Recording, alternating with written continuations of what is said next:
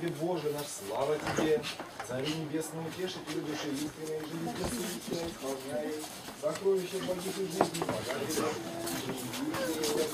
и очисти меня от всяких Боже, наша, Святый Боже, святый крепкий, святый бессмертный, помилуй нас, Святый Боже, святый крепкий, святый бессмертный, помилуй нас, Для маленьких, для маленьких сегодня отдельно будет. Ну что же? Тихо, тихо, тихо. ныне и присно во веки веков. Аминь. Братья, встанем, помолимся. Давайте потихоньку стоим. Сейчас. Боже, милости нам грешных. Боже, очисти нас грешных. Боже, очисти нас грешных и помилуй нас. Царю небесный, утешителю души истины, и же везде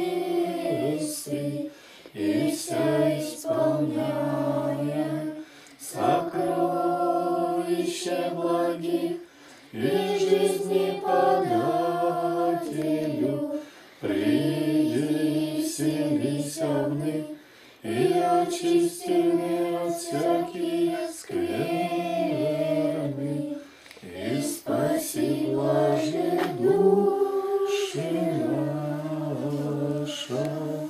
Отец наш Небесный, Господь Святый, молим Тебя именем Господа нашего Иисуса Христа. Благослови нашу беседу, занятия с чадами. Помоги, Господи, чтобы когда они войдут во взрослый возраст, коснулась их вера Твоя, сердец их. Помоги, Господи, им все уразуметь. И не только слушать, чем они сейчас занимаются, но исполнять. Даруй, Господи, чтобы эта вера, слова Писания Твоего помогли э, начать им трудиться на ниве благовестия. И тем прославить имя Твое Святое. Даруй, Господи, нам быть истинным примером для чад, всех чад Вселенной.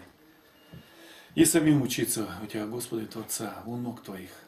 Слава Тебе за все, Отец, Сын и Святой Дух. Аминь. Садимся. Как у нас обычно.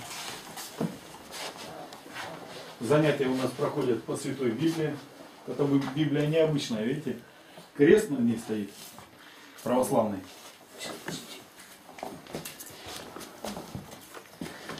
Маленькая такая, видите, Святой Иоанн Златоуст.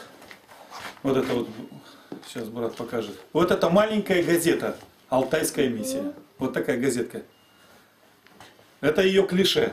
Прежде чем печатать газету, видите, как я делаю? Тут все картинки, все можно прочитать. Вот так она выглядит. Вот уроки э, о воспитании. Как раз о детях была такая закладка у меня. В типографию ходили. Вот эта Библия необычная очень. Она православная Библия. Библия книги священного писания Ветхого и Нового Завета в русском переводе с приложениями. Очень много приложений. Четвертое издание. Теперь видите, тут внизу написано Брюссель, 1989 год. А почему Брюссель? Интересно, да? В Бельгии. Там стоит самая большая машина «Зверь». Масоны там правят бал. Оттуда идут все распоряжения, как правильно э, закабалить всех истинно верующих.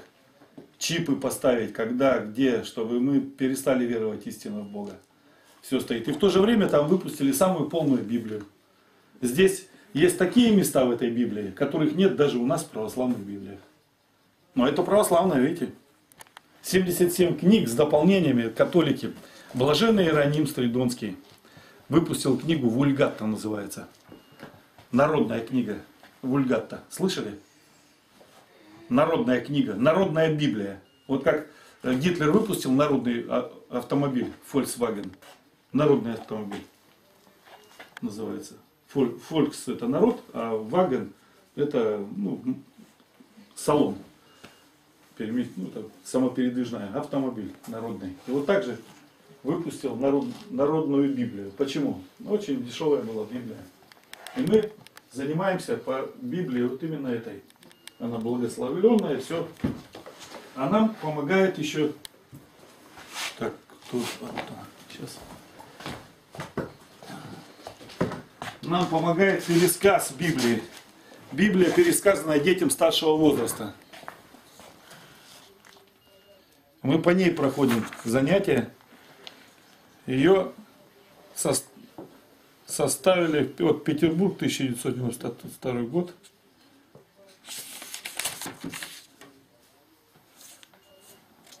Тут предисловие мы это не будем ничего читать. И вот Ветхий Завет мы проходим. Остановились мы на третьей главе. Книга Исход. Называется она Моисей и фараон. Сейчас мы сначала прочитаем, чтобы не заснуть, а потом будем беседовать. У меня очки специальные, чтобы можно было одновременно глаза лечить, видите? Я на кого похож на стрекозу? Как раз сегодня будем про насекомых. После того Моисей и Аарон предстали пред лицо фараона и сказали ему, так говорит Господь Бог Израилев, отпусти народ мой, чтобы он совершил праздник мне в пустыне. До этого Моисей увидел терновый куст, который не сгорал. Давно мы с вами проходили это уже. Но я думаю, что вы помните это. В пустыне, когда он пас овец, когда убежал от фараона. И Господь ему сказал, пойти в землю, и я тебе ставлю, как, ты будешь как Богом для людей, которых будут, будешь выводить от- из этой земли. Потому что вопль народа моего дошел до меня. Вопль народа еврейского. Молитва такая от тяжелых работ, от непомерного гнета от египтян. Ну, тем более там и детей убивали маленьких. Помните, Моисея бросили в корзине? Кто, кто помнит об этом? А, хорошо. Слава Богу. Аллилуйя. И вот теперь продолжается это повествование. И Господь говорит, пойди к фараону, и он, от- он не отпустит народ, а ты все равно будешь к нему ходить. Это для того, чтобы показать славу мою перед всей вселенной. И вот как она будет проявляться дальше, сейчас мы читаем в пересказе. Но фараон сказал, кто такой Господь, чтобы я послушался голоса его и отпустил сынов Израиля? Я не знаю Господа и Израиля не отпущу. Это мы читаем в пятой главе уже, первый, второй стих. Вот у нас сегодняшний мир такой же. Не знают Господа. И вот ваши учителя, которые вас учат, вы должны все хорошо знать, что они Господа практически в большинстве своем не знают. И у вас такое же полож- положение сейчас, как у, Мо- как у Моисея с Аароном и всего израильского народа. Вы как будто в плену у этого воспитания мира. Лучше, конечно, всех тем, которые еще не пошли в школу. Ну а те, кто пошел из вас в школу, все трудности ваши я знаю, потому что я учился в этой школе мирской.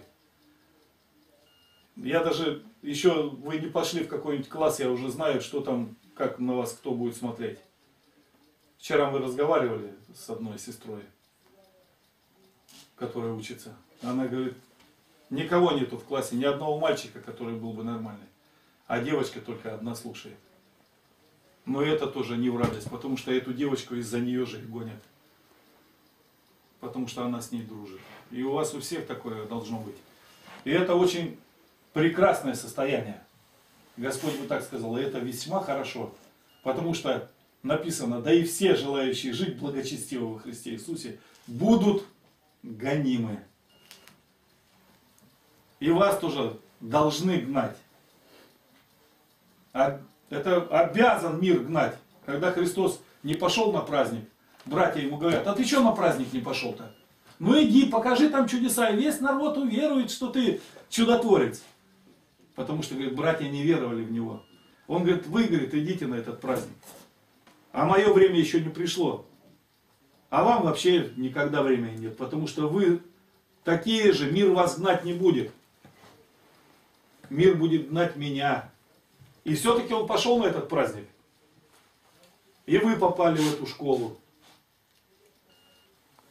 У вас сколько сейчас, кто не учится? Тарасик не учится, да? Я в подготовишку. Подго- И ты тоже подготовишки, да? Остальные все учатся уже. Леонид, это как- на каком, каком классе уже? Во втором. Во втором. Так, ну и у кого друзья-то есть? Такие хорошие друзья. У кого есть в классе? Которые слушают вас, когда вы говорите о Боге. Да? По одному или человеку, или больше? По одному? И- Два у тебя? Даже три. Ничего себе, как ты. Или ты мало им говоришь о, о, о- об Аде. Об Аде-то они знают, что ад есть. Нет. Не знаю. Знают? И все-таки дружат с тобой. Это хорошо. Это хорошо. Страх Божий. Придите, чадо, послушайте меня. Страху Господню научу вас. И вот вы для этих ваших друзей будете как воспитатели, как отцы, матери. Если будете учить их страху Господню. Откуда он рождается, страх Господень? От того, что вы правильно говорите о Господе. А у нас что есть? Божья любовь, Божья милость и страх Божий.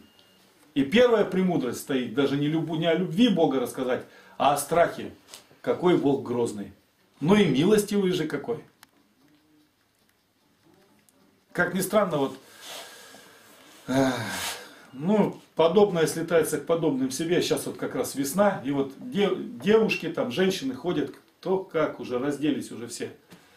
А когда показываешь фотографии, то людям больше нравится, как одеты вы. Ну, как наши сестры одеты. В платочках вот так. С серьезными лицами. Но весь мир тянется именно вот к таким девицам. Раздетым, а не одетым. А почему? А потому что совесть есть у людей. У многих еще. И только поэтому еще не убивают христиан. Что совесть есть. Понимают, что мы не правы, мы неправильно живем. Но сознаться в этом никто не сможет.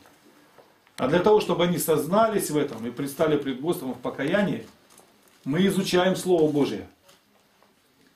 Поэтому и Моисей к фараону идет, чтобы фараон наконец-то совесть свою открыл. Но мы увидим, фараон совесть не сможет открыть. Его Господь напугает, да, а потом дальше закончится все очень плачевно и для него, и для всей страны египетской. И вот что было дальше, прочитаем. И фараон стал упрекать Моисея и Аарона в том, что они отваживают народ от работы, и решил заставить евреев работать еще больше, чтобы они, как он сказал, не занимались пустыми речами. Тут у нас идет пересказе, но пересказ очень добротный, хороший пересказ. Ну, побыстрее, чтобы пройти, чтобы остановиться на самых важных местах. И вот этой работой всегда заставляют работать. И работать-то хорошо, и Господь дал закон работать. И вы знаете, как по Теряевке работается, в лагере трудовом нашем православном мы работаем. И работаем не, непонятно даже для многих.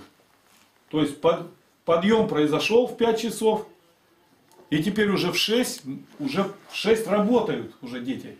Кому скажи, скажут, да вы как издеваетесь над детьми-то, это что такое? Но зато потом как завтракается. А? Кто помнит? Как завтракается? Ну, ну-ка скажи пару слов. М, Там, Хорошо тебе завтракается? да, там дают первое, второе, да еще компот.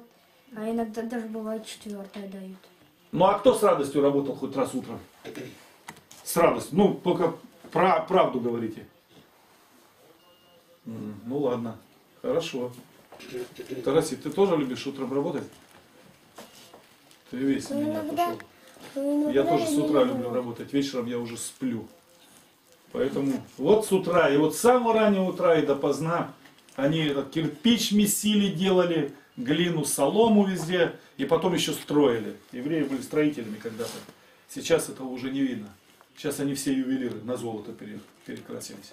Почему? Потому что нету истинного вопля к Господу. А вот трудиться-то хорошо. Но много так трудиться, что даже не было э, места для одного дня, который бы посвящался Господу. Не было. Понимаете? Не было вот этого дня отдохновения для души. Вот как сейчас. У нас сейчас воскресенье. Мы празднуем воскресенье. Для нас сейчас, для всех, Христос воскрес. Вот крест, после этого будет воскресенье. Христос воскресший сейчас. И проповеди идут об этом. Хоть и пост идет, а Христос-то воскрес. А пост это для нас. Прообраз. Чтобы мы не были похотливы на злое. Чтобы мы могли вспомнить о том, что мы христиане. Да, у нас крест здесь. Мы спас- спасаемся смертью Христовой.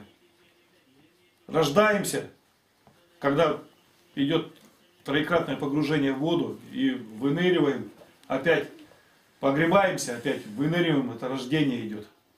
Это пе- первое духовное рождение. Смерть была уже одна у Адама, и мы все умерли. И теперь духовное рождение, рождение свыше. Вы все крещенные троекратным погружением. По смыслу вы все родились свыше.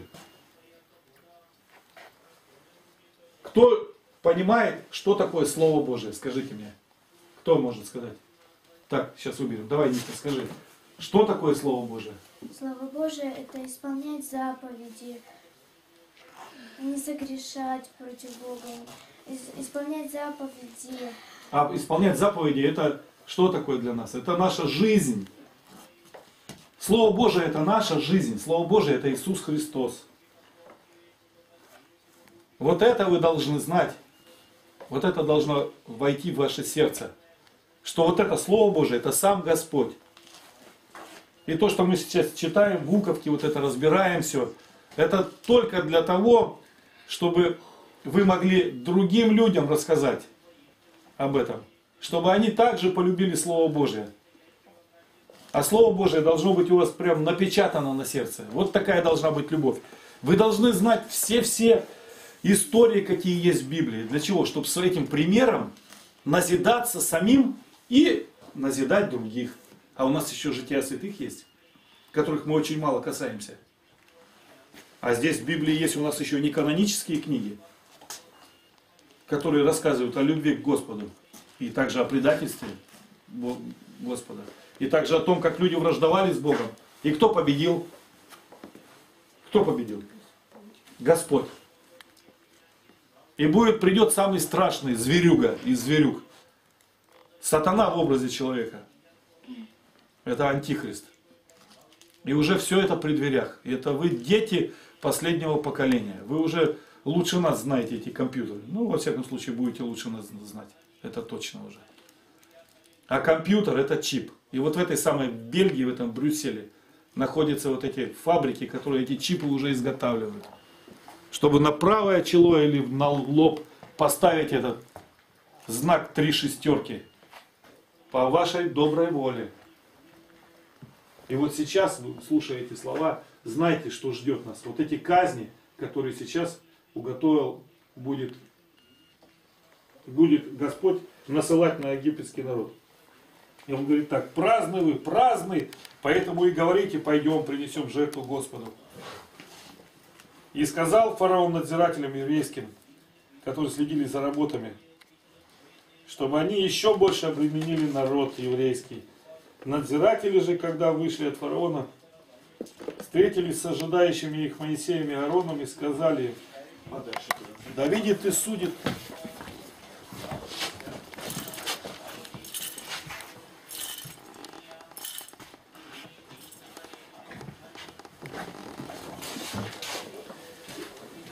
Да видит и судит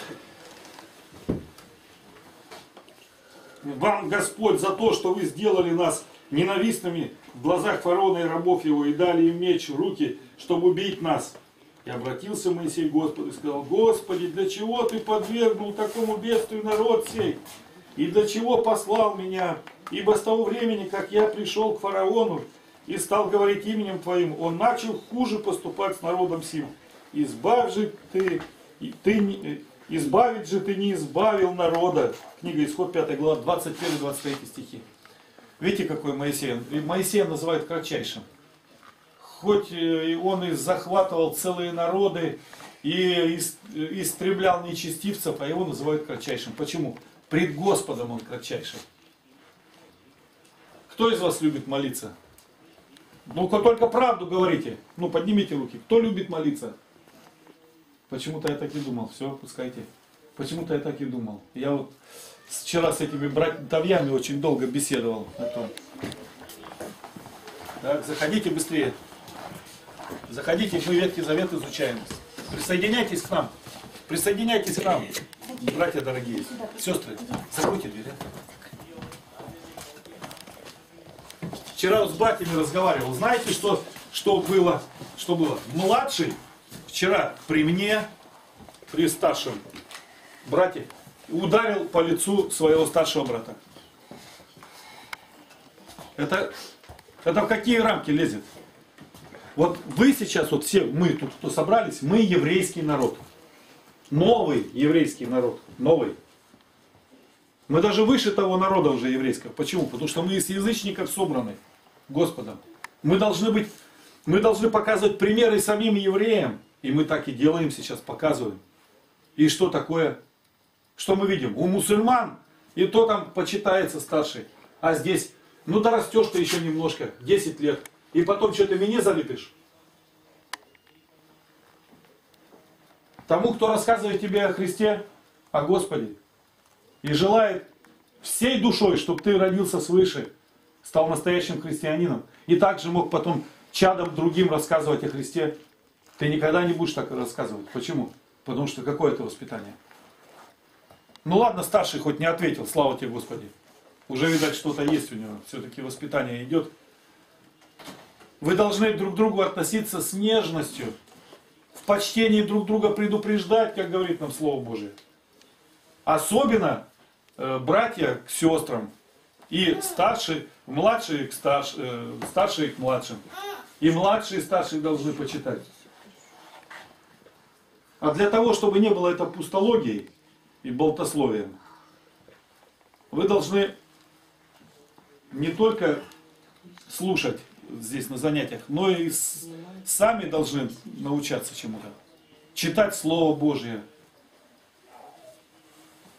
задавать вопросы. Вот от вас редко я вопросы слышу. Вот вы не задаете вопросы. Ну, во-первых, конечно, много разъясняется, может быть. А во-вторых, я думаю, что это от рождения свыше. Вот тот, кто родился свыше, то сразу очень много вопросов. Почему? Он хочет, очень хочет спасти душу свою. Он очень хочет восхитить Царство Небесное. Восхитить, то есть взять, преодолеть вот эту стену. Стена очень огромная, этот мир, который вот перед вами лежит сейчас такой стеной.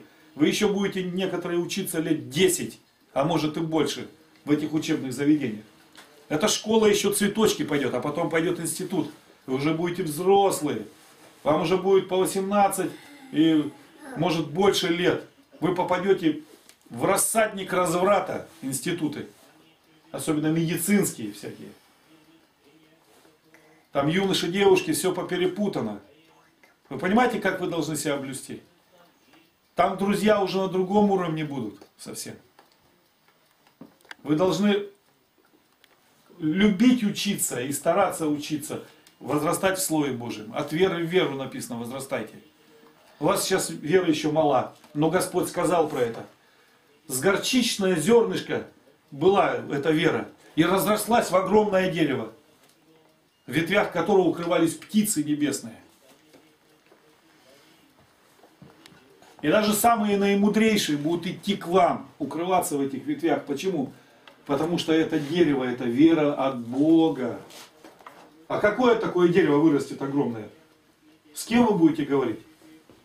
Профессора будут прислушиваться, как прислушивались книжники и фарисеи э, ко Христу, когда он в 13-летнем возрасте в храме отвечал им на вопросы. Спрашивал их, написано, и отвечал. Но не лез со своими речами. Наркотики он там нашел или еще что-то. Забудь об этом и о чем попало болтаете, вот о чем не надо говорить. Говорите, спрашивал и отвечал. Ты должен вопрос уметь задать. Хороший вопрос, который тебя интересует действительно, ничего попало. И ответить, когда тебя спросят. Я вот отве- спрашиваю этого вот отрока, младшего, ничего не отвечает, сидит бычком. Редко-редко. То шапку крутит, то еще что-нибудь. Так, братья, все. Занятия прошли. Ну, у нас короткие они. Может быть, не очень емкие. Итак, мы остановились на том, как к казням все подходит дело. Так мы до казни не дошли. Поблагодарим Господа. Слава тебе, Творец, за великую милость, что даровал нам встретиться сегодня в это прекрасное утро воскресенья Твоего. Дары нам, Господи, пламенной молитве Тебе, об обращении душ наших родных, близких, кто не познал Тебя. Господи, даруй чадам мол- молитвы. Даруй, Господи, послушание, смирение перед Словом Твоим. Даруй, Господи, чтобы все старшие здесь находящиеся, искренние православные христиане, были примером благочестивой жизни для всех чад Вселенной и для наших. Спаси, Господи, нас и помилуй. Слава Тебе за все, Отец, и Святой Дух. Аминь. Спаси, Христос.